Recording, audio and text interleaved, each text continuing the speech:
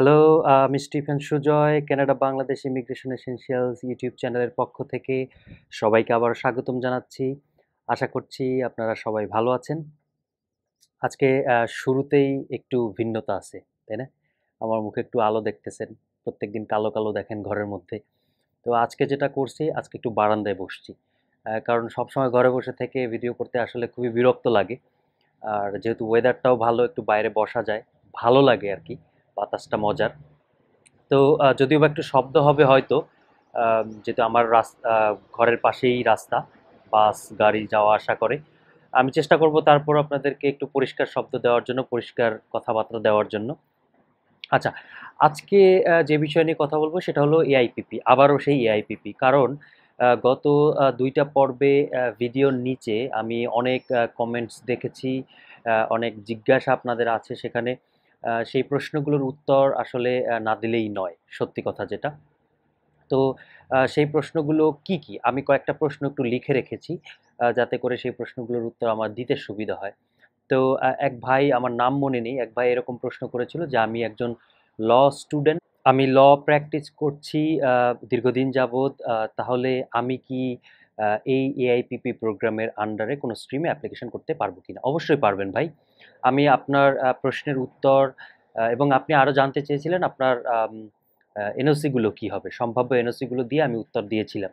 তো আমি ওই পর্বে দ্বিতীয় পর্বে আমি আসলে বলেছিলাম, আপনি যদি জিরো এ বি সি এই চারটা স্কিল লেভেলের আন্ডারে যদি আপনার প্রফেশন হয়ে থাকে, আপনার এনওসি যদি হয়ে থাকে, আপনি অবশ্যই অ্যাপ্লিকেশন করতে পারবেন। আপনারা আরেকবার একটু দয়া করে দুই নাম দ্বিতীয়তম ২য় পর্বটা আরেকবার একটু দেখবেন। যাতে করে একটা ক্লিয়ার আইডিয়া পাবেন যে কারা এলিজিবল, কারা অ্যাপ্লিকেশন করতে পারে। আমি কিন্তু সেখানে একদম ডিটেল বলেছি। তারপরও যদি এই প্রশ্নগুলো থাকে তাহলে আমার মনে হবে এটা আমার ব্যর্থতা, আমি আপনাদেরকে বোঝাতে পারিনি ঠিকঠাক মতো করে। আচ্ছা, যে কোনো প্রফেশনের মানুষ যারাই জিরো এ এবং বি সি এই ক্যাটাগরির আন্ডারে পড়বে তারা সবাই অ্যাপ্লিকেশন করতে পারবে যদি এমপ্লয়ারের কাছ থেকে তারা জব অফার ম্যানেজ করতে পারে।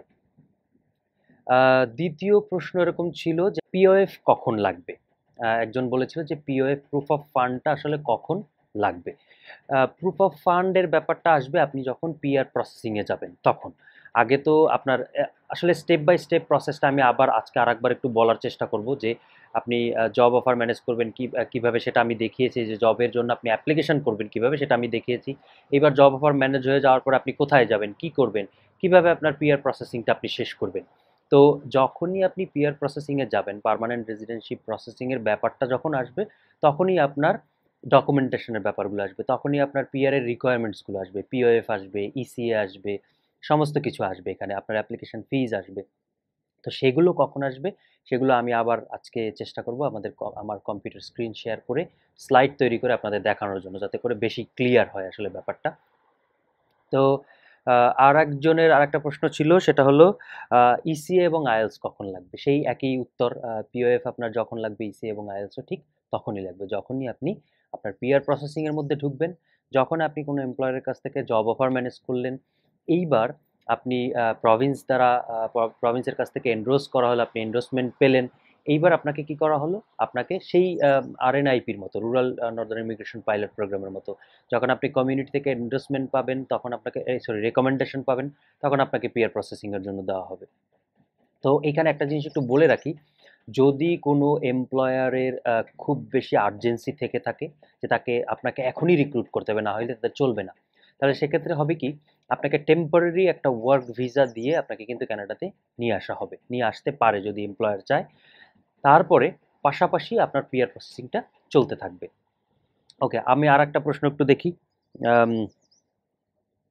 আচ্ছা আর একজন প্রশ্ন করেছিল আমাকে যে এক্সপ্রেস এন্ট্রির প্রোফাইল লাগবে কিনা?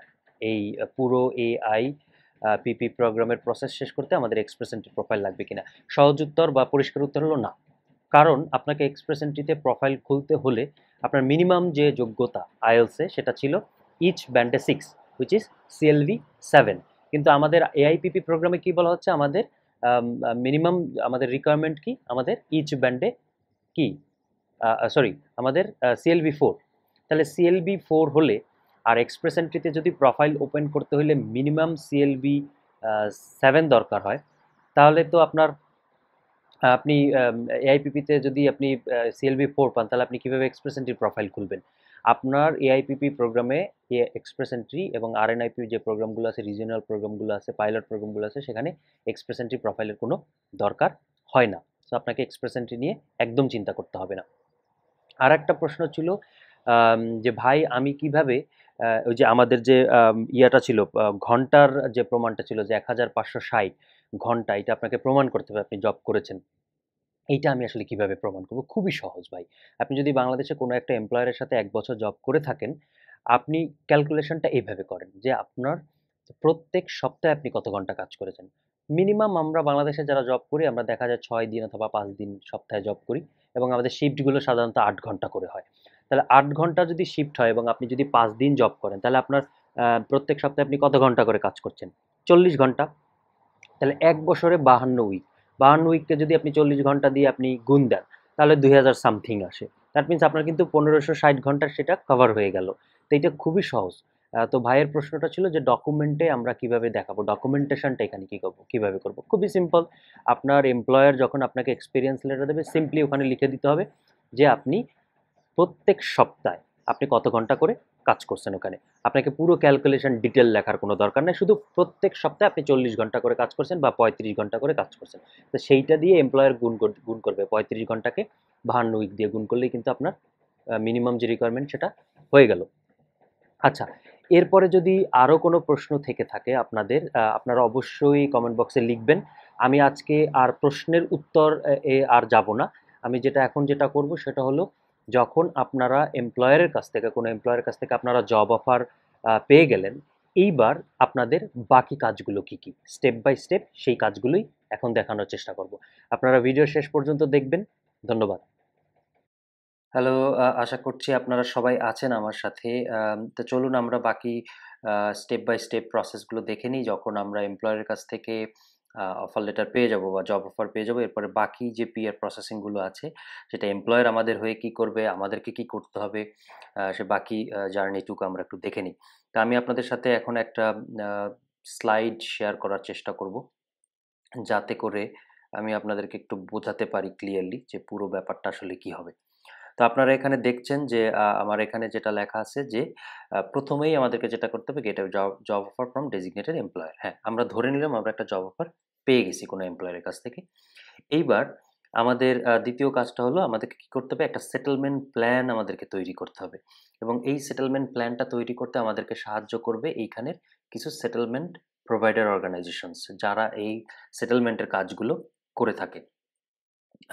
আপনারা যখন নোভাস্কোশিয়া ক্যাটাগরি বিতে আসবেন বা সাসকাচুয়ান প্রভিন্সে অ্যাপ্লিকেশন করেন, আপনাদেরকে অবশ্যই কিন্তু একটা সেটেলমেন্ট প্ল্যান লিখতে হয়। তো যারা অলরেডি অ্যাপ্লিকেশন করেছেন, তো যারা, তারা জানেন যে আসলে জিনিসটা কি। এখন সেটেলমেন্ট প্ল্যানটা কি, কেন দরকার এটা আমি একটু পরের স্লাইডে একটু ডিটেল বলার চেষ্টা করব, খুব বেশি ডিটেলে যাব না। যখন আমরা সেটেলমেন্ট প্ল্যানটা পেয়ে যাব প্রোভাইডার অর্গানাইজেশনের কাছ থেকে দেন আমাদেরকে যেটা করতে হবে send settlement plan to your employer এইবার আপনি যে ডেজিগনেটেড এমপ্লয়ারের কাছ থেকে আপনি যে জব অফার পেলেন, সেই এমপ্লয়ারকে আপনার এই প্ল্যানটা পাঠাতে হবে। প্ল্যানটা পাঠানোর পরে এইবার আপনার এমপ্লয়ার কি করবে?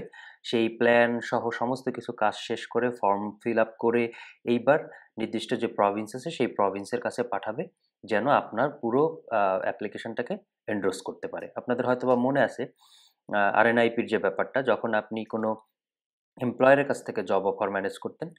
এরপরে আপনার জব অফারটাকে কী করা হতো বা আপনার ডকুমেন্টসগুলোকে এমপ্লয়ার কী করতো? কমিউনিটির কাছে পাঠাতো। কেন কমিউনিটির কাছে পাঠানো হতো যেন কমিউনিটি আপনার, আপনাকে কী করতে পারে? রেকমেন্ড করতে পারে রেকমেন্ডেশন দিতে পারে। সেই রেকমেন্ডেশন আর এখানে আমরা ওয়ার্ড ব্যবহার করতেছি কি এন্ডোসমেন্ট আমাদেরকে এন্ডোস যেন করতে পারে। তো সেই ওয়েতে এমপ্লয়ার এবার আপনার ফাইলটাকে পাঠাবে কোথায়? প্রভিন্সের কাছে। যেন প্রভিন্স আপনাকে কি করতে পারে? এন্ডোর্স করতে পারে। এই প্রভিন্সের এন্ডোর্সমেন্ট নিয়েই আপনি দেন আপনার পিয়ার প্রসেসিং শুরু করবেন। ওকে পরের স্লাইডে চলে যাই। এখন পরের স্লাইডে আমি বলেছি যে সেটেলমেন্ট প্ল্যানটা আসলে কি? সেটেলমেন্ট প্ল্যানটা আপনি কীভাবে পাবেন? কারা আপনাকে এই ব্যাপারে সাহায্য করবে? সাধারণত সাহায্য করে। তো প্রথমে হলো সেটেলমেন্ট প্ল্যানটা হলো যখন আপনি কোনো নতুন কোনো একটা জায়গাতে আসবেন, এই প্ল্যানটা আপনাকে অ্যাডজাস্ট করতে সাহায্য করবে। ধরুন আপনি নোভাস্কোশিয়াতে আসবেন। এখন নোভাস্কোশিয়াতে এসে আপনি কোথায় থাকবেন, কি করবেন, কারা কারা আপনাকে কীভাবে সাহায্য করবে, সমস্ত ইউজফুল রিসোর্সগুলো দিয়ে এই অর্গানাইজেশনগুলো আপনাকে সাহায্য করে। আপনার জন্য একটা সেটেলমেন্ট প্ল্যান তৈরি করে তারা, যে আপনি এসে কি করবেন, কোথায় থাকবেন, কি করবেন? প্রথম কয়েকদিন আপনাকে কি কি করতে হবে? আপনার মেডিকেল মেডিকেলের জন্য কোথায় যেতে হবে? মেডিকেল আমরা যে মেডিকেল কার্ড হেলথ কার্ড নিই, এটার জন্য আপনি কোথায় যাবেন? আপনার ট্রাভেল আপনি কীভাবে করবেন? এখান থেকে ওখানে আপনি কীভাবে যাবেন? ট্রাভেল কার্ড একটা ডিসকাউন্টের একটা ব্যাপার আছে। এখানে যারা স্বল্প আয়ে যাদের স্বল্প ইনকাম তাদের একটা ডিসকাউন্টেড একটা ট্রাভেল কার্ডের ব্যাপার আছে। সেগুলো যদি আপনার ক্ষেত্রে প্রযোজ্য হয়, আপনি কোথায় যাবেন? কীভাবে অ্যাপ্লিকেশন করবেন? হ্যালিফ্যাক্স ট্রানজিটে গিয়ে কোথায় অ্যাপ্লিকেশন করতে হবে? তো সমস্ত কিছু মিলে আপনার জন্য একটা, আপনার এবং আপনার ফ্যামিলির জন্য তারা একটা টোটাল একটা প্ল্যান তৈরি করে দেয়। কারণ আপনারা এখা আপনাদেরকে কিন্তু তারা এখানে নিয়ে আসতেছে, তাদের প্রয়োজনের জন্য। এটা বুঝতে হবে। সো এটা তাদের দায়িত্ব যেন, যাতে করে আপনি নূতন একটা দেশে এসে নূতনভাবে নূতনভাবে শুরু করতে পারেন এবং কোনো এই নূতনভাবে শুরু করার মধ্যে যেন আপনার কোনো বাধা না থাকে বা কোনো কিছু বুঝতে সমস্যা না হয়। কারণ আপনি সম্পূর্ণ নূতন একটা পরিবেশে আসবেন। যাতে করে সমস্ত কিছু আপনার জন্য ইজি হয়ে যায়, সেই জন্য তারা আপনার জন্য এই সেটেলমেন্ট প্ল্যানটা তৈরি করে। এখন এই সেটেলমেন্ট প্ল্যান তৈরিতে কিন্তু আপনার কোনো খরচ নেই।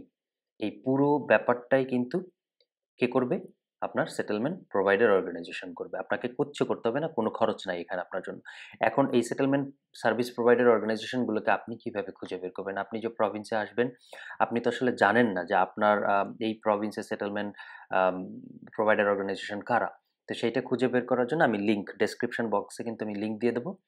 আমাদের এখানে নোভাস্কোশিয়াতে আমি যেখানে আছি হ্যালিফ্যাক্সে আমাদের খুব কাছাকাছি, আমাদের ঘর থেকে যেতে পাঁচ মিনিট হয়তো বা লাগবে হেঁটে যেতে। আমাদের এখানে দুইটা প্রোভাইডার অর্গানাইজেশন আছে, একটা হলো ওয়াইএমসিএ আর একটা হলো আইসেন্স হুম, তো আমি এইগুলোর সব লিঙ্ক আপনাদের নিচে দিয়ে দেবো। ওকে, এবার চলে যাই পরবর্তী পর্যায়ে। এইবার যখন আপনি আপনার কি বলে সেটেলমেন্ট প্ল্যান পেলেন, আপনার জব অফার হয়ে গেল। এইবার আপনাকে কি করা হবে? সেই আর এন আইপির মতো আপনাকে আর এন আইপিতে যেরকম যেরকম রেকমেন্ডেশন দেওয়া হতো এবার আপনাকে দেওয়া হবে কি এখানে? এন্ডোসমেন্ট করা হবে আপনার জন্য। এন্ডোসমেন্ট করা হওয়ার পরে করার পরে আপনার ডকুমেন্টেশনগুলো সব কিছু যখন ঠিক হয়ে যাবে, তখন আপনি কোথায় পাঠাবেন? পিয়ার অ্যাপ্লিকেশনের জন্য পাঠাবেন। এখন এন্ডোসমেন্ট প্রসেসটা আমরা একটু দেখি যে আসলে এন্ডোসমেন্ট স্টেজে এসে কি কি করা হয়? কে, কি করে? আপনার কতটুকু দায়িত্ব? এমপ্লয়ারের কতটুকু দায়িত্ব?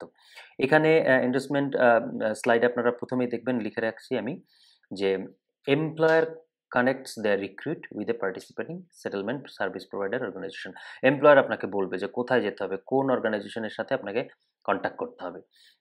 এবার আপনি অ্যাজ এ ক্যান্ডিডেট আপনি কি করবেন? কন্ট্যাক্ট করবেন সেটেলমেন্ট সার্ভিস প্রোভাইডার অর্গানাইজেশনের সাথে of their choice for a needs assessment service that will result in a settlement plan for themselves and their family আপনার ফ্যামিলি এবং আপনার প্রয়োজন অনুসারে আপনার জন্য একটা সেটেলমেন্ট প্ল্যান তৈরি করে দেবে প্রোভাইডার অর্গানাইজেশন এইবার settlement service provider organisation provides candidate with a settlement plan after the need assessment তো আপনার যখন, আপনার যে চাহিদা, সেই চাহিদাগুলোকে যখন অ্যাসেস করা হয়ে যাবে, এইবার ওই অর্গানাইজেশন কি করবে? আপনাকে একটা সেটেলমেন্ট প্ল্যান দিয়ে দেবে। Candidate send a copy to the settlement plan to the employer এবার আপনি অ্যাজ এ ক্যান্ডিডেট আপনার দায়িত্ব কি? আপনার সেটেলমেন্ট প্ল্যানটাকে আপনার এমপ্লয়ের কাছে পাঠানো। ওকে পরের স্লাইডে চলে যাই। এটাও এন্ডোসমেন্টেরই একটা স্লাইড একটা অংশ। Okay employer completes the provincial endorsement application identifying the appropriate programme based on candidate's work experience and including the job offer and settlement plan and sends it to province এই যে। তাহলে কি হলো? এমপ্লয়ার যখন আপনার settlement প্ল্যানটা পেয়ে যাবে আমি বলেছিলাম যে এন্ডোসমেন্টের জন্য পাঠানো হবে। এবার যখন আপনার সেটেলমেন্ট প্ল্যানটা প্রোভাইডার অর্গানাইজেশনের কাছ থেকে পেয়ে যাবে এমপ্লয়ার আপনি যখন পাঠাবেন, তখন এই জব অফার এবং সেটেলমেন্ট প্ল্যান কি করা হবে? আপনাকে যে জব অফার দেওয়া হয়েছিল, তখন তো একটা একটা আপনার জন্য একটা অবশ্যই ডকুমেন্ট তৈরি করা হয়েছিল। সেই ডকুমেন্ট এবং এই সেটেলমেন্ট প্ল্যান এমপ্লয়ার কোথায় পাঠাবে? প্রভিন্সের কাছে পাঠাবে। In cases where uh, where it is urgent to fill the position candidates may be eligible for a temporary work permit certain conditions apply such as uh, having a valid job offer a referral letter from province and commitment to apply for permanent residence এই যে এইখানটাতে একটু মজার বিষয় সেটা হলো আপনারা আমাকে অনেকে প্রশ্ন করেছেন যে পুরো প্রসেসটা শেষ হতে আসলে কতটুকু সময় লাগে এই সময়ের ব্যাপারটা হলো যখন আপনি কোনো, ধরেন আপনি কোনো প্রভিন্স থেকে যখন নমিনেশন পান পিএনপি প্রোগ্রামে এরপরে আপনি কোথায় চলে আসেন? এফএসডাব্লিউতে বা এক্সপ্রেস এন্ট্রিতে আপনার পিয়ার প্রসেসিংয়ের জন্য চলে আসেন। এখন এক্সপ্রেস এন্ট্রিতে আমাদের পিয়ার প্রসেসিংয়ের যে আমাদের এস্টিমেটেড কমপ্লিশন টাইম সেটা হলো সিক্স মান্থস কারও সিক্স মান্থসের মধ্যে হয়ে যায়, কারও তিন মাসের মধ্যে হয়ে যায়, কারও আট মাস লাগে, কারও এক বছর লাগে। এটা ডিপেন্ড করে ফাইলের উপরে। তো আপনি ধরে রাখবেন আপনার পুরো প্রসেসিংয়ের জন্য এক বছর সময় লাগবে। এখন এখানে বলা হয়েছে কি in cases where it is urgent to fill position যেহেতু প্রসেসটা একটু লেন্দি মোটামুটি, আমরা ধরে নিই লেন্দি ধরে নিই এটা এক বছর। এখন যেই এমপ্লয়ার আপনাকে হায়ার করেছে, সেই এমপ্লয়ার যদি মনে করে ইমিডিয়েটলি আপনাকে এখানে নিয়ে আসা উচিত, কারণ তাদের আপনাকে দরকার। এইবার তারা আপনার জন্য কি করবে? একটা টেম্পোরারি ওয়ার্ক পারমিটের প্রসেসিংয়ের কথা বলবে। যাতে করে আপনাকে ইমিডিয়েটলি এখানে নিয়ে আসতে পারে এবং আপনি এখানে আসার পরে আপনার কিন্তু পাশাপাশি পিয়ার প্রসেসিংটা চলতে থাকবে। এমন না যে আপনার পিয়ার প্রসেসিংটা বন্ধ হয়ে যাবে। আপনাকে শুধুমাত্র এখানে তাড়াতাড়ি করে আনার জন্য টেম্পোরারি একটা ওয়ার্ক পারমিট দিয়ে নিয়ে আসা হলো এখানে। ওকে আশা করি বোঝাতে পেরেছি। আচ্ছা পরবর্তী পয়েন্ট যেটা ছিল province reviews and approves the endorsement application province sends candidate and endorsement letter এই যে আমরা প্রায় শেষের দিকে চলে আসছি, সেটা হলো এইবার প্রভিন্স যখন এমপ্লয়ার যখন আপনার এন্ডোস সরি সেটেলমেন্ট প্ল্যান এবং আপনার জব অফার পাঠাবে প্রভিন্সকে এবার প্রভিন্স সমস্ত কিছু রিভিউ করার পরে আপনাকে কি দেবে? একটা এন্ডোর্সমেন্ট লেটার দিয়ে দেবে। এই এন্ডোর্সমেন্ট লেটার দিয়েই আমরা কি করব? পিয়ার অ্যাপ্লিকেশন করব। অন্যান্য ডকুমেন্টস যেগুলো দরকার আমাদের সাথে করে সেই ডকুমেন্টসগুলো নিয়েই আমরা পিয়ার প্রসেস করব। আপনারা কিন্তু আমি কিন্তু একটা প্রশ্নের উত্তর এর আগে দিয়ে আসছি যে, আমাকে বলা হয়েছিল যে এক্সপ্রেস এন্ট্রির প্রোফাইল লাগবে কিনা। আমি কিন্তু বলেছিলাম না। তাহলে আপনাদের মাথার মধ্যে ঘুরপাক করতে পারে যে, এই যে এন্ডোর্সমেন্ট লেটার তারপর প্রয়োজনীয় ডকুমেন্টস এগুলো আমরা কোথায় পাঠাবো পিয়ার প্রসেসিংয়ের জন্য? সেটাই আমি আস্তে ধীরে আমি আপনাদেরকে বলব শেষের দিকে যে যে যদিও আমাদের এক্সপ্রেস এন্ট্রি প্রোফাইল নেই, তাহলে আমাদের পুরো প্রসেসিংটা আসলে কীভাবে শেষ হবে?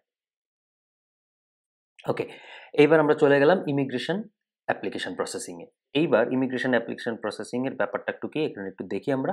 Candidate completes their permanent resident application and sends it to immigration refugees মানে আইআরসিসির কাছে। সংক্ষেপে আমি বলি endorsement letter and other required documents একটু আগে আমি যেটা বলেছি।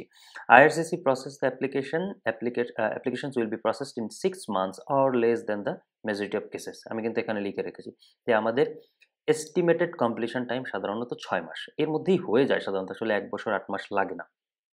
যদি এরকম সিচুয়েশন মানে আনওয়ান্টেড সিচুয়েশন না হয় যে প্যান্ডামিকের এই, এইরকম ব্যাপার স্যাপার যদি না থেকে থাকে, কারণ এটার উপর আমাদের আসলে কোনো হাত নাই। এরপরে যেটা হলো approve candidate and their family come to Atlantic Canada okay তো এই যে আমাকে এক আপু গতকালকে একটা স্ক্রিনশট দিয়েছিল যে এআইপিপি প্রোগ্রামের ফ্যামিলি মেম্বারদের এবং মেইন অ্যাপ্লিক্যান্টদের আসা যাওয়া নিয়ে, যে কে আসতে পারবে এই প্রোগ্রামে কে আসতে পারবে না। আমি আশা করি আপু, আপনি আপনার উত্তরটা এখানে পেয়ে গেছেন। ওকে পরের পয়েন্টটা ছিল employer supports candidate and their family settlement হ্যাঁ integration in their workplace and community in partnership with settlement service provider organisation এইবার এমপ্লয়ার এবং সার্ভিস প্রোভাইডার অর্গানাইজেশন মিলে তারা কি করে? আপনাকে এখানে সেটেল হতে সাহায্য করে। ওকে আর ডিটেল যাচ্ছি না। পরবর্তী স্লাইডে চলে যাই। এই যে আমি যে, যেটা বলেছিলাম যে আমাদের এখানে দুইটা সেটেলমেন্ট সার্ভিস প্রোভাইডার অর্গানাইজেশন আছে, একটা হলো আইসেন্স এবং আরেকটা হলো ওয়াইএমসি আমি আইসেন্সের কথাটাই বলি, যেহেতু আমি নিজেও আইসেন্সে গিয়েছিলাম সো আমি আইসেন্সের কথাটাই আপনাদেরকে বলি। আচ্ছা আইসেন্স কীভাবে করে, কি করে আপনাদের কীভাবে সাহায্য করে? আমি একটু এখানে লিখে রাখার চেষ্টা করছি যে কীভাবে আইসেন্সের মাধ্যমে সেটেলমেন্ট প্ল্যান প্রসেস করবেন। আমি দেখি একটু কুইকলি পড়ে যাই। Your potential your potential employer helps you to get ready to register for the pre endorsement needs assessment and settlement plan by providing you with the required eligibility forms eligibility forms আছে, সেগুলো আপনাকে provide করা হবে। সেই ফর্মগুলো কি আমি এখানে লিখে রেখেছি লিখে রেখেছি, আপনা, আপনাকে এগুলো দেওয়া হবে। ওটা নিয়ে আপনাকে টেনশন করার কিছু নেই। দ্বিতীয়ত হলো স্টেপ টুটা কি? আপনাকে এই যে ইয়াটা আছে ওয়েবসাইটটা আছে, সেখানে আপনাকে যেতে হবে। কেন যেতে হবে? আপনাকে একটা অ্যাকাউন্ট তৈরি করতে হবে। এই এই লিঙ্কগুলো আমি নিচে দিয়ে দেবো ডেসক্রিপশন বক্স আপনারা ওখান থেকে। সরাসরি যাতে করে ঢুকে আপনারা আপনাদের অ্যাকাউন্ট ক্রিয়েট করতে পারেন। ওকে এবং আপনাকে অবশ্যই আমি একটা বোল্ড করে রাখছি, এখানে দেখেন যে you will be required to upload the eligibility documents there এখন আপনার এলিজিবিলিটি ডকুমেন্টসগুলো কি? আপনি যে জব অফার পেয়েছেন, এটা কিন্তু আপনার একটা এলিজিবিলিটি ডকুমেন্ট সেটা কিন্তু কনফার্মেশন আপনাকে অবশ্যই ডেজিগনেটেড এমপ্লয়ের কাছ থেকে কনফার্মেশন নিতে হবে। Step 3 key an ISENS intake counselor contacts you with further instructions to book the need assessment session এরপরে আইসেন্স থেকে একজন ইনটেক কাউন্সিলর কি করবে আপনার সাথে কন্ট্যাক্ট করবে ফার্দার যে ইনস্ট্রাকশনসগুলো আছে সেগুলোর জন্য Step 4 The license intake counselor gives you the settlement plan for you to share with your potential employer. ওই যে আমি বলেছিলাম, যখন আপনারা সেটেলমেন্ট প্ল্যানটা পেয়ে যাবেন, এইবার সেটেলমেন্ট প্ল্যানটা আপনি কি করবেন? আপনার এমপ্লয়ারকে পাঠাবেন, যাতে করে আপনার এমপ্লয়ার আবার এই সেটেলমেন্ট প্ল্যানটাকে প্রভিন্সকে পাঠাতে পারে এন্ডোসমেন্টের জন্য। ওকে পরবর্তী স্লাইডে চলে যাই। আমরা সেটেলমেন্ট প্ল্যান পেয়ে গেলাম, আমরা পাঠিয়ে দিলাম এমপ্লয়ারকে এইবার এমপ্লয়ার কি করল? আমাদের প্রভিন্সকে পাঠালো প্রভিন্স আমাদের এন্ডোসমেন্ট দিয়ে দিল। প্রভিন্স থেকে আমরা এই যে এখানে যে এন্ডোসমেন্ট লেটার সেটাও আমরা পেয়ে গেলাম। এইবার আমাদের কাজ কি? আমাদেরকে পিআর প্রসেসিংয়ের কাজ শুরু করতে হবে। এখন পিআর প্রসেসিংয়ের জন্য কে আমাদেরকে সাহায্য করবে? কীভাবে আমরা করব? কেউ আমাদেরকে সাহায্য করবে? না। যদি আপনি নিজে নিজে করেন, তাহলে আপনাকে, আপনার প্রসেস আপনাকেই করতে হবে এবং এটা খুবই সহজ। কোথা থেকে কীভাবে করতে হবে, কি কি ফর্মস ফিল আপ করতে হবে, প্রত্যেকটা ইনফরমেশন আমি এই স্লাইডসগুলোতে কিন্তু আপনাদের সাথে শেয়ার করতেছি এবং এগুলো সবগুলোই ডেসক্রিপশন বক্সে থাকবে। আপনারা একটু দেখে নেবেন ওখান থেকে। কি কি ফর্মস ফিল আপ করতে হবে, সব ফর্মসগুলো আপনারা এখান থেকে দেখে রাখেন হয়তো বা কোনো কোনো ফর্মস আপনাদের ক্ষেত্রে প্রযোজ্য না। যেমন ইউজ অফ এ রিপ্রেজেন্টেটিভ আপনার যদি কোনো রিপ্রেজেন্টেটিভ না থেকে, থাকে শেষের ইয়েটা দেখেন, তাহলে আপনার এটা ফিল আপ করার দরকার নেই। ওকে তারপরে যখন আপনি এই ফর্মগুলো ফিল আপ করে যাবেন। এই ফর্মসগুলো ফিল আপ করার ইনস্ট্রাকশন আমি একটু বলব বিশেষ করে একটা ফর্ম একদম উপরের ফর্মটা generic application form of Canada form for Canada আপনারা, আমরা আইএমএম ট্রিপল জিরো এইট যেটাকে বলি, এই ফর্মটা ফিল আপ করাটা একটু ঝামেলার ব্যাপার। এটা আমি শেষের স্লাইডে গিয়ে দেখাবো যে কীভাবে ফিল আপ করবেন এবং কি কি জিনিসগুলো পুরোটা হয়তো বা দেখাতে পারব না, কী কী জিনিসগুলো মাথায় রাখতে হবে। যারা already Saskatchewan immigration nominee programme থেকে নমিনেশন পেয়েছেন তাদেরকে কিন্তু এই ফর্ম ফিল আপ করতে হয়েছে। এবং যারা সরাসরি এক্সপ্রেস এন্ট্রিতে অ্যাপ্লিকেশন করছেন, তাদেরকেও এই ফর্ম ফিল আপ করতে হয়েছে। কিন্তু সেটা অনলাইনে করছেন, কিন্তু যারা সাসকাচুয়ান থেকে নমিনেশন পেয়েছেন বা অন্যান্য প্রভিন্স থেকে নমিনেশন পেয়েছেন, তারা হয়তো বা প্রিন্ট আউট করে তাদেরকে আবার সিগনেচার করতে হয়েছে। তো ওই জায়গাগুলো আমি একটু দেখাবো আপনাদেরকে। Okay instruction to guide to fill out your application forms আপনি কীভাবে অ্যাপ্লিকেশন ফর্ম ফিল আপ করবেন? কারণ এই এই এই যে ফর্মসগুলো এখানে দেওয়া আছে সবগুলো কিন্তু পিডিএফ ফর্মেট এবং অ্যাক্রোবেট রিডার আপনাকে থাকতে হবে অবশ্যই টেন অর হায়ার না থাকলে আপনি কিন্তু খুবই বিপদে পড়ে যাবেন। দেখবেন যে ওপেন হচ্ছে না কি হচ্ছে ফিল আপ করতে পারতেছেন না এরকম। তাহলে make sure you have Adobe Reader ten or higher turn on fill out the form um, on your computer instead of by hand আপনি হাতে ফিল আপ করার থেকে কম্পিউটারেই করে ফেলেন, তারপর আপনি প্রিন্ট আউট নিয়ে দেন সিগনেচার করেন। ইটস ইজিয়ার অ্যান্ড রিডিউসেস আচ্ছা কেন এটা করা ভালো সেটা বলা হয়েছে। Fill out print sign and date your application forms তারপরে আপনাকে যে, এই যে I M M triple zero eight অথবা জেনেরিক অ্যাপ্লিকেশন ফর্ম আমরা যেটা বলি, এটা কিন্তু একটা বারকোড ফর্ম এটা কিন্তু অনেকে ভুল করে। এবং কয়েকদিন আগে আমার সাথে একজন কথা বলতেছিল এবং তার ফর্মে আমি দেখতেছিলাম জেনেরিক ফর্মে যে তার বারকোডের পেজই নেই। এই পেজ মিসিং সাসকাচুয়ান থেকে এবং আনফর্চুনেটলি সে রিফিউজ হয়েছে। কেন হয়েছে? কারণ তার যে তাকে যে সাহায্য করছিল এই পুরো প্রসেসিংয়ে সেইটা ভুল করে ভ্যালিডেট করতে ভুলে গেছে। আপনি যখন এই ফর্মটাকে ভ্যালিডেট করবেন না, তখন কিন্তু আপনাকে বারকোড দেওয়া হবে না। আর বারকোড ছাড়া এই ফর্মটা কিন্তু একদম ইনভ্যালিড আপনাকে কিন্তু রিফিউজ করে দেবে এই জিনিসটার জন্য। এই জন্য আমি এখানে বলে রেখি make sure you validate it and submit all the pages আপনাকে কিন্তু সমস্ত পেজ সাবমিট করতে হবে। যখন আপনারা অনলাইনে করেন সেটা একরকম যখন পেপার বেসড হয় সেটা আর একরকম আমি বলে দেবো যে এই বারকোড ফর্ম দুটো কোথায় যাবে? আমি এখানে হয়তো লিখে রেখেছি কোথায় যাবে বারকোড ফর্মগুলো ওকে দেখে আমি একটু নিচে শেষে পড়ে যাই। ক্লিক দ্য ভ্যালিডেট বাটন আমি এগুলো দেখাচ্ছি আপনাদেরকে একদম ফর্ম থেকে দেখাবো। uh, at the top uh, or the bottom of the form. Validating the form before printing, make sure that you have answered all the questions. This will help you to avoid delays in processing your application. One or more pages with, bar, uh, with barcodes and signature line will automatically be created. Print, sign and date form. Use white high quality uh, non-glossy paper. আমি এখানে লিখে দিছি এখন শেষে দেখেন কি বলছি Place the IMM 0008 form including the barcode pages on the top of your application package. ওকে তার মানে আপনারা কিন্তু বুঝে নিচ্ছেন যে আপনার পিয়ার প্রসেসিংটা কিন্তু পেপার বেসড হতে যাচ্ছে যেহেতু আমি বলছি on top of your application package তার মানে আপনার এক্সপ্রেস এন্ট্রি দরকার নেই, আপনার পুরো পিয়ার প্রসেসিংটা পেপার বেসড আপনাকে কোথায় পাঠাতে হবে সেটা আমি দেখাচ্ছি। ওকে তার আগে আমি এই জেনেরিক ফর্মটা নিয়ে আমি কিন্তু একটু হালকা করে আপনাদেরকে দেখাবো যাতে করে আপনাদের উপকার হয়। ওকে জেনেরিক ফর্মের আমি একজন আমার এক ভাইয়ের কাজ আমি করছিলাম। তার ফর্ম আমি এখানে দেখাচ্ছি। আমি তার নাম আমি এগুলো ঢেকে দিয়েছি। আমি জানি না, খুব ছোট মনে হচ্ছে জায়গাটা। তারপর আমি দেখানোর চেষ্টা করব যে আসলে জেনেরিক অ্যাপ্লিকেশন ফর্মটাকে ভ্যালিডেট করলে পরে এটা কি দেখা যায়, কেমন দেখা যায়। আসলে এক্সট্রা আপনার দুইটা বারকোডের পেজ হবে এবং আপনাকে সিগনেচারের জন্য একটা আলাদা করে এখানে একটা অটোমেটিকলি জেনারেট হয়ে যাবে আপনার জন্য একটা পেজ ওকে তো আমি একটু আমার মনে হয় আমি আপনাদেরকে একটু অনলাইন থেকে আসলে দেখাই যে জেনেরিক অ্যাপ্লিকেশন ফর্মটা কেমন হয় এবং কেন আমি আপনাদেরকে এখানে বলেছিলাম যে অ্যাডোবি রিডার থাকতে হবে। আদারওয়াইজ আপনি কিন্তু এটা ওপেনও করতে পারবেন না, আপনি এটা ফিল আপও করতে পারবেন না। তাহলে আমি একটু দেখাই আপনাদেরকে যে সেটা কীভাবে বের করতে হবে। ওকে আপনারা যদি গুগল গুগলে এসে আপনার সিম্পলি লেখেন জেনেরিক অ্যাপ্লিকেশন আমার এটা চলে আসবে কারণ আমি এটা দিনের মধ্যে অনেকবার করি আমার জি লিখতে চলে আসবে এটা। ওকে দেখেন, এখানে কি চলে আসলো? Generic application form for Canada IMM zero zero zero eight okay আমি এটা যদি ক্লিক করি ক্লিক করার পরে ওরা আমাকে কি দিচ্ছে? আমাকে কিন্তু এখানে ফর্ম দিচ্ছে না। এখন আমাকে কি করতে হবে? আমাকে যেটা করতে হবে, এটা ডাউনলোড করতে হবে। আমি ডাউনলোড করে ডেস্কটপে রাখি, দেখি সেখান থেকে আমি ওপেন করতে পারি কিনা।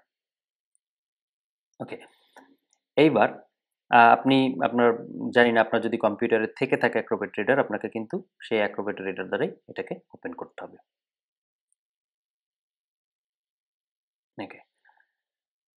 আচ্ছা এইটা হলো আপনাদের জেনেরিক অ্যাপ্লিকেশন ফর্ম আমি একটু বড় করে আপনাদেরকে দেখাই।